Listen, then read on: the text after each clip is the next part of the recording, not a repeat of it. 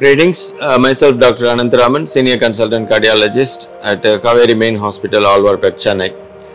Uh, today we will be looking at and discussing about the very latest in technology for coronary angioplasty, that is the laser angioplasty.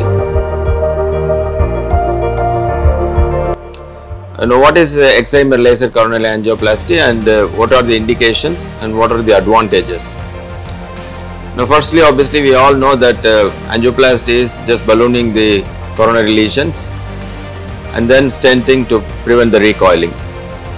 Now if there is calcification so far we had rotablation which can modify the calcium and recently lithotripsy which can kind of create cracks with ultrasound as well as after that we can angioplasty and stent. The additional one is the excimer coronary laser angioplasty. Now obviously this uses uh, ultraviolet laser 308 nanometers. This is a cool laser. Basically the laser works through three principles.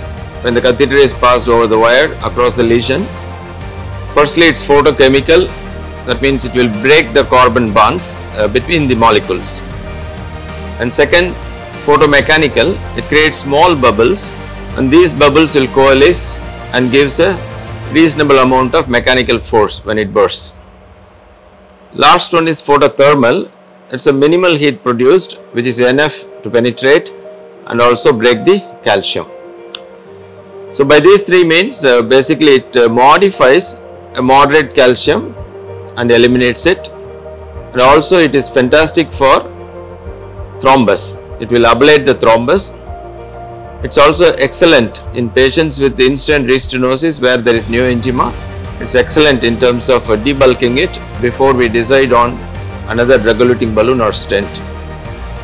The other major place where excimer laser coronary angioplasty is very useful is when we get a wire and when we are not able to pass anything, even the smallest of the balloons, that is this balloon uncrossable or microcatheter uncrossable lesions, laser will create a lumen. So you can take a point and laser and pass it over that. It will create a channel which is enough following that where you can take a microcatheter or a small balloon and then start modifying the lesion and stenting. In chronic total occlusions also when there is calcium when we have created a channel either subintimal or intraluminal laser is useful to modify in terms of re-entry as well as creating channel to complete the procedure. So the previously where we had difficulties this balloon non-dilatable or balloon uncrossable where we send patients for surgery laser has made a huge difference. In India, majority of these uh, MIs comes late. There is a quite a lot of thrombus burden. So when we do the primary angioplasty, when we put the wire, even after thrombosection and drugs, sometimes we still get no reflow and we still get patients going into shock. Here laser is fantastic. You can pass the wire and ablate the thrombus and create a lumen and create a blood flow you can always come back once you restore T3 flow to reassess it with an imaging and decide on whether you want to stent or whether you want to balloon. In specific cases like cancer patients or patients waiting for liver transplants or renal transplants where you want the shortest uh, antiplatelet therapy, we have done laser in in-stent restenosis or calcified lesion and just ballooned them with a drug coated balloon and they were able to go for these life-saving surgeries within 4 weeks time. So there are major advantages for excimer coronary angioplasty and there are good indications for it. And the good thing is it is available in India and Kauvery Hospital was one of the very first hospital to introduce this technology in 2021 in India and we have been routinely using this for the patient's advantage. It is comparable in terms of cost to the other calcium modification procedures and in terms of the Safety, it is probably the safest among the calcium modification procedures.